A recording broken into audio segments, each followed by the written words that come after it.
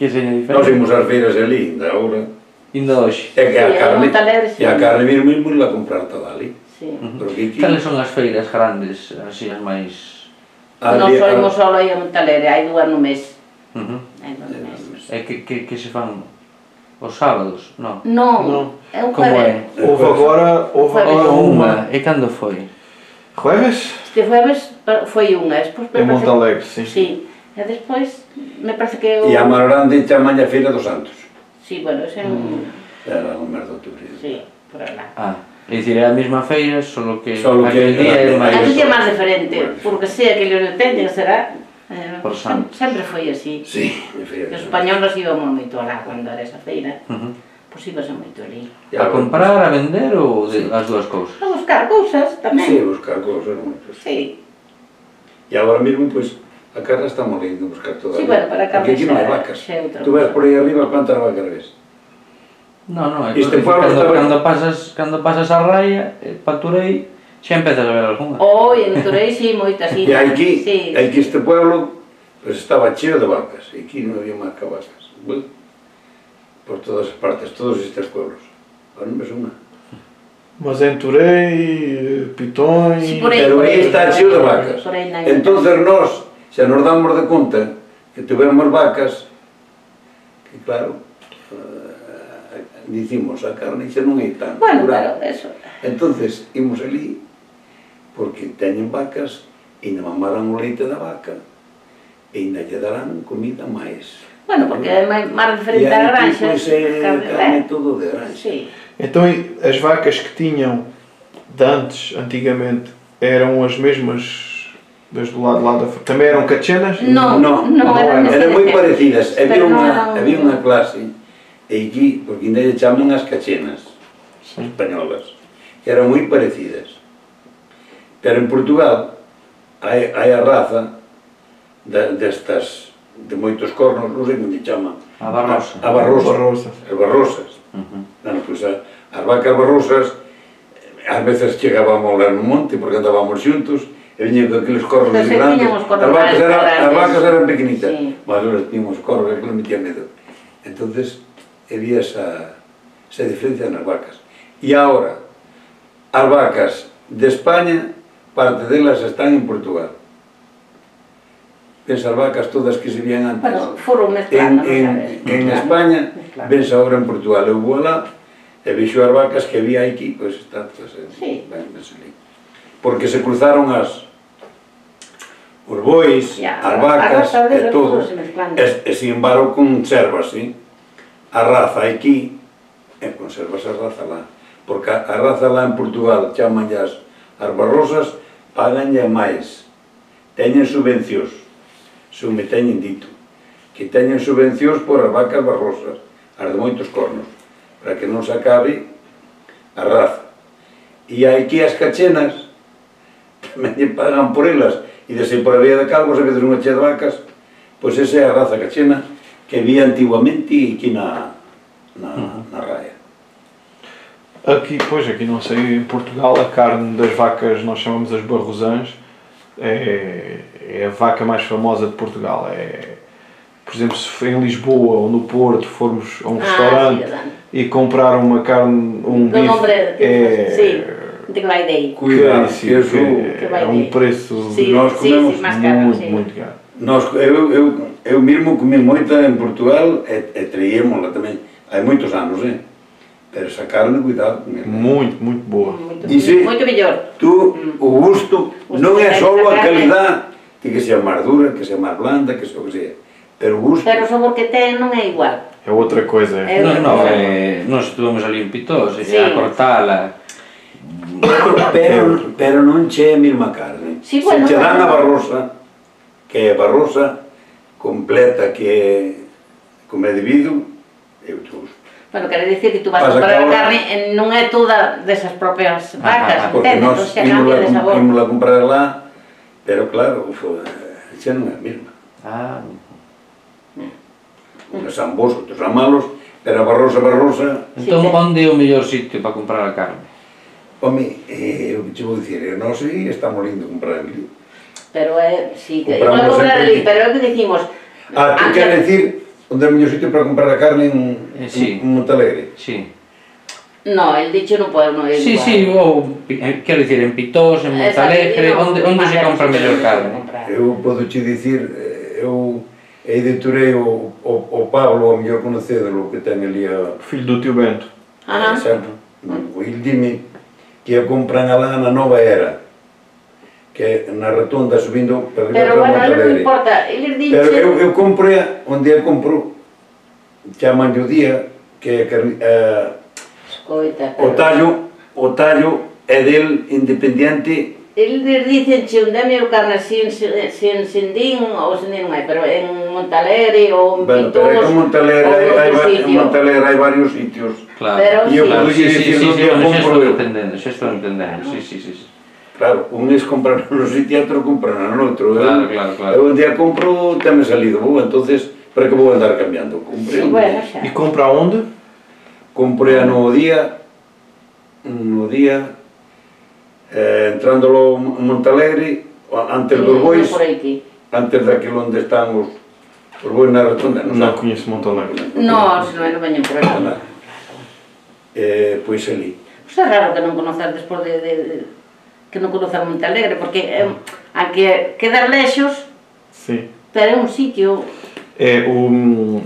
E agora nós aqui, neste projeto, vamos só às terras mesmo de fronteira. Montalegre já, um- já está um bocadinho mais longe. Mas em Portugal, Montalegre é uma vila que é muito. percebe? É muito longe de tudo. É para- vila para para sim, vós. para nós. Ah, para nós. claro, Claro, sim, para sim. nós, para nós. Ninguém Lisboa. claro. Mas mesmo do Porto, Braga, quase ninguém vem Sim, em sim. Montalegre. Agora é mais famosa com a Feira das Bruxas. As festas Sim, sim, a festa sim, das sim, bruxas. sim, sim. Agora sim. Mas eu sei isso e amanhã e quarta-feira vou dormir a Montalegre.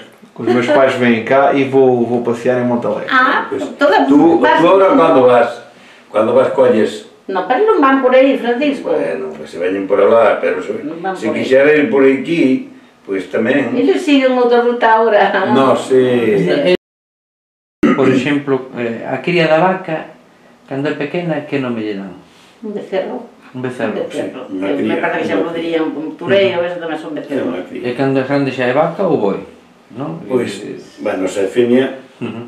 Vaca, claro. Se é vaca, se macho, pois é mm. en bui. E a cría da cabra? Pois hai, hai un cabrito e unha cabrita, pero todo é mismo. E cando é xa grande? Pois un chivo.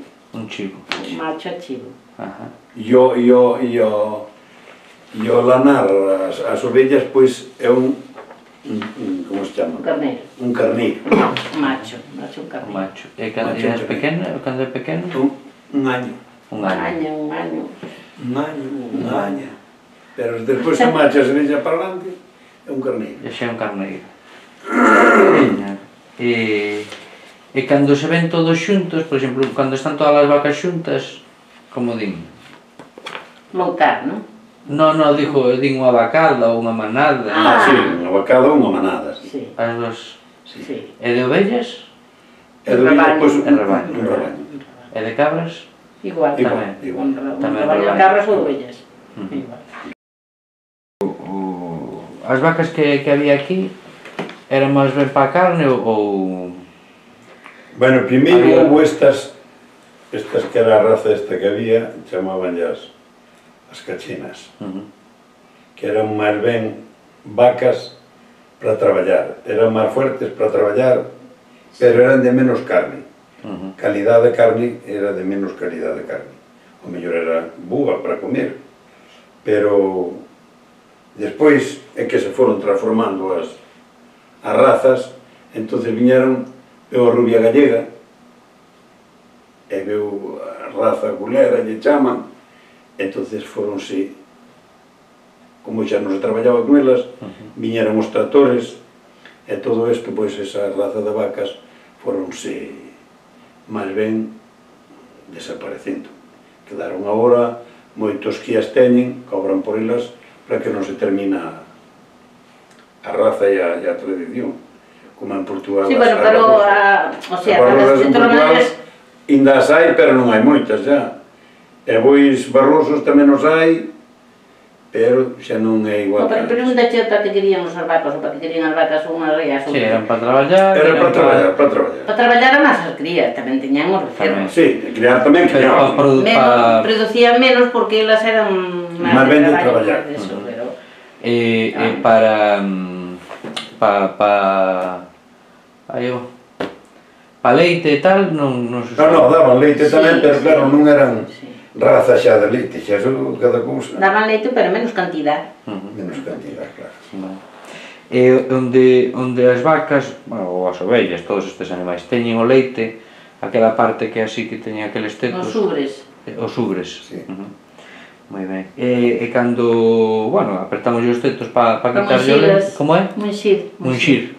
Munxir. Sí, un castellano é ordeñar, no... No, no, aquí é munxir. É munguir? En, en Portugal será munguir ou Non sei. Mungir. Mungir, é mungir, sí. Será igual. Igual, é, é igual. Sí, sí, é ben. É igual. E co leite facían alguna cousa? Facían... Sí, sí. Que facían? O co leite, pois, faía requesón, lle dicíamos, feía manteca, mantequillo, pero manteca. Uh -huh, manteca. Eso. E bueno, pois... Pues, eh, eh, que eso como ahora se fan os yogures, é unha cosa parecida. Sí, sí. Uh -huh. Cortábalo e eh, feía requesón, despois batías para fer manteca, pois pues, ibas xuntando, xuntando, despois con as cousas feías a manteca. E así. E queixo facías? Había que facía queixo, sí. Uh -huh. Nunca o fixemos, pero había que facía queixo. Uh -huh. De todas formas non era así unha cousa no, tradicional, no. porque hai terras que son así sí, bueno, arzúa, non sei que. Eso, eso xa é outra cosa, sí, porque sí, xa se dedica sí. máis a eso, Mas, pero, pero aquí non. Pero aquí, no, no, aquí non era tanto eso. Uh -huh. Moi ben. E que máis? Os animais da casa, ta... o porco. O porco cando é pequeno o nombre. Si, sí, que nombre lle dá? Chamaban yo, chamaban yo un... Un bacuriño. Un, un porquiño, un bacuriño. Un bacuriño. en cada sí. sitio, desde nós chamamos un um bacuriño. Despois un um porquiño. Cando era un pouco máis grande, un porquiño. Sí, sí. Noutros outro lado, aquí de Galicia un chamaño un marrao, un bueno, marrao pero pequeno, un marrao grande. Pode ser, sí. Pero bueno, aquí é bacuriño. É, despois xa é por, porquiño tal. Sí, sí. E imagino que se facía a matanza no inverno. Sí, para... Ainda se sigue facendo. Sí. E como, como, como se facía a matanza tradicionalmente? Bueno, a matanza, pois, bueno, pois xuntábamos os veciños, pois, familias ou familiares, entonces xa mm, desde, ou nombrabas un día, tal día matamos. entonces xa nos xuntábamos todos e despois entonces íbamos homes e, claro, sangraba un porco, normal. Había que chamoscalo, lle dicíamos, e lavalo, e despois colgalo que se vexera a carne un pouquinho máis máis dura, máis tesa. Uh -huh. E despois había que desfaelo, e nas se sigue facendo así, eh? Desfaer en trozos para fermos os chourizos, se non deixas o xamós. Todo ibas facendo así un, eh, vas facendo así unha tiche interesa, que converte. E que tipos, que tipos de chourizos se fan? Porque iso tamén, cada pueblo sí, ten sí, a súa sí, maneira. Sí. é que femos o chourizo gordo lle dicimos, femos o outro delgado, lo femos salchichón, ou revilla, ou faz. Xente, uns femos sí, máis, outro menos, pero... Dámolo a probar, eh? sí, sí, sí. O, cho, o chourizo fino, por exemplo, Como é? É o que leva máis... Eh... O delgado ou o salchichón? Mira, mira tralle unha rodaja a cada un dun e do outro, traño. Para que tralle. vale, acabamos antes. tralle unha rodaja a cada un, un de cada. Porque, mm, eh, vamos ver, hai... hai... hai antes, antes non se facían, só se facían os chourizos gordos e os delgados E cal é a diferencia? Solo o tamaño ou, no, levan cousa? Non, non. no, Leva diferente aderezo. Ah, vale. Diferente aderezo. Se faz salchichón, un aderezo. Tes, non tes aí, tes aí. Espera, espera, vou buscar aquí abaixo. Mira, a, o, o gordo pasou, levaba a clara, outra clara e despois mezclabanlle nabos. Ah, vale. E o delgado non, solo a carne. E agora, o salchichón, me chamamos nós, que como te vou dicir, claro, vas comprar aí a un sitio salchichón, entonces é todo, case todo malo. Uh -huh. entonces tamén é hervilla, que preparan a mesma carne, pero botanlle distinto pimiento a, a, a cada un. A carne é a mesma, pero botanlle o, o, o distintamente o, os conservantes e o, e o que lle fai falta. E o bolsi e os, os aderezos, os tal. Exacto. Ah, vale, vale, vale. E despois do resto, imagino que todo pa o sal, non? Sí, costillas. pausal e despois pons un pouco fumo, uh -huh. despois comes, eh? Sí, señor. E a parte de, de, de aquí, dicilo... o A, ca, a cabeza. Sí, como lle chaman? Esa chaman a cachola. A cachola. A cachola. Vale. Dou igual que na miña terra. Hai sitios que dicen a cachucha, pero que se llama aquí é cachola. A cachola. Muy bien.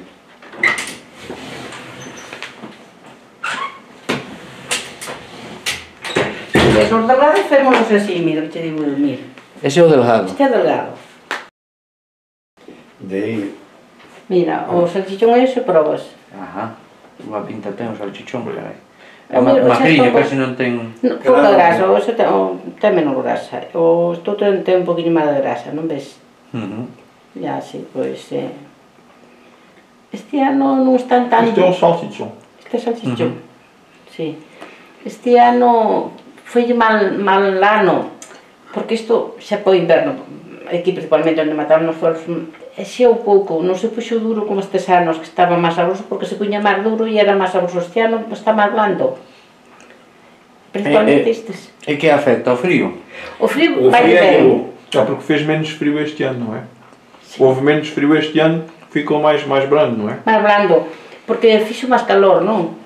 non foi o tempo tan tan frío. Entón todo isto no, isto quere, quere frío. Frío, o, claro, frío. sí, sí, sí. Eh, non lle traron trociños de pan. O pan non lle dou porque nos, nos comemos sin sal. Ah, non, por Entonces, por eso non. nos comemos pan bueno. sal, eh, casi todo sin sal. Que rico.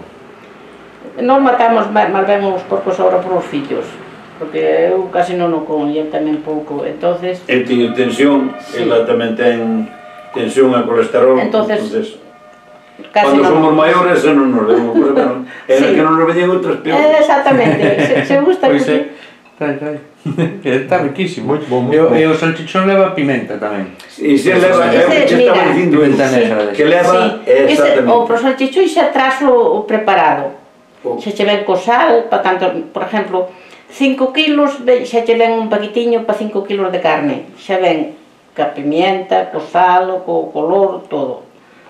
Eh, isto outro non, isto outro tens que lle botar tú, que che, tens que grador tú que queres. Entendes? Este, este, é dicir, o que non leva o, o salchichón é pimentón. Ajá. ajá. Pero o outro leva pimentón. Este o... leva dulce, leva picante este. Dulce mm. e o sal. E allo, e o, o orégano, o deso. Este e se outro xa ben preparado, solo é fera, a, picas a carne, se che gusta, colle. E se houbera... Collo último, si, non deixes si, que... Se houbera pan... A vergonza do. Se houbera pan asábamos aí eh, unhas sí, que virías como estaban vos, eh? Se queredes comer do pan sin sal, que vos asmos chorizos aí, eh? Tranquilamente, non? Sin Agora, problemas. Agora lle collede ao panadeiro... Ahora, ahora seguimos, despois... despois acabamos. Mira, Este é parecido a este, pero xa non é igual. Este é o que chama o chorizo gordo? Non, non? este é revilla, feita na casa. Ajá. Pero é a mesma carne. É da mesma carne. É a mesma carne. Sí. Pero o que leva a preparación... De outra maneira. Diferente. É, exactamente. Ves, este é o salchichón, ese é uh -huh. o chorizo delgado, e despois este O que chaman o revilla. O revilla, feito Ajá. na, ca mesma carne da casa, pero diferente Uh -huh. Entendes? Cada caso... Pois pues, haberá que probar. haberá que probar, o loco. A ver. É todo magriño, ademais non non non non, non, non llevo tan grasa, todo mal. Non llevo tan prácticamente grasa, eh. Pouca, isto é sano.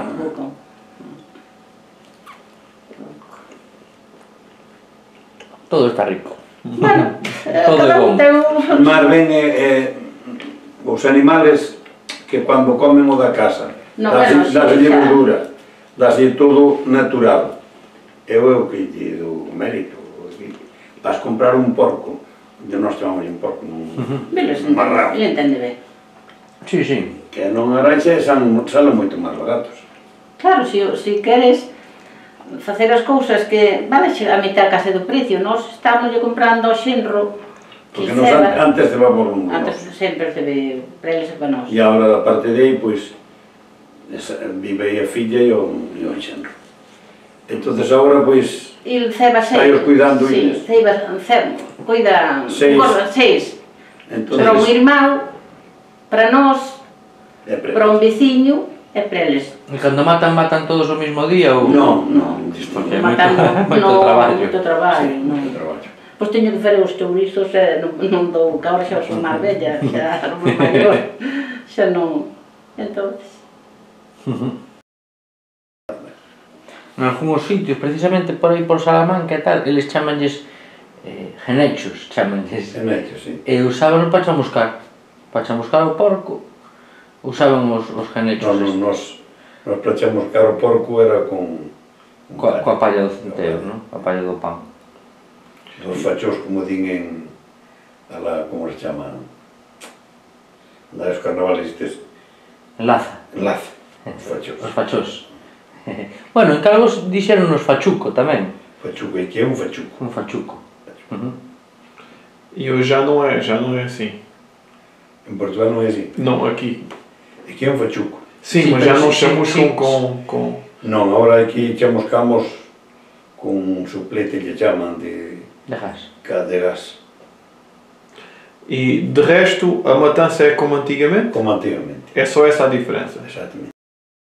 ten o noso traballo pasa unha cousa que son alimentados co da casa sí, bueno, e é onde está é onde está a cousa esa é a diferenza Sí.